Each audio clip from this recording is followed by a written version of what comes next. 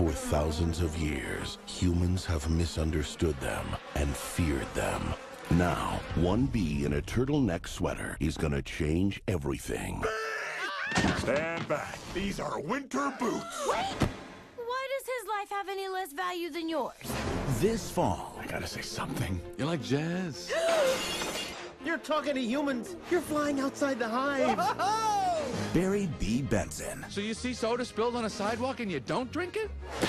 is a little bee He's not bothering anybody. Get out of here, you creep!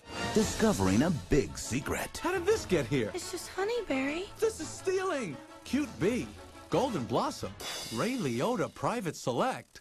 I'm gonna get to the bottom of this. You have a plan? Yes, Plan B! He's brave, Where'd you get the honey? It's ours now! He's bold, This can't possibly work. Okay, Barry, pull the chute. he's reaching new heights. what happened? I just tried to talk to these guys. Hi. Ah, me! Then there was a dustbuster, a toupee, a life raft exploded. Now one's bald, one's in a boat, and they're both unconscious. Jerry Seinfeld, Renee Zellweger. DreamWorks Bee Movie.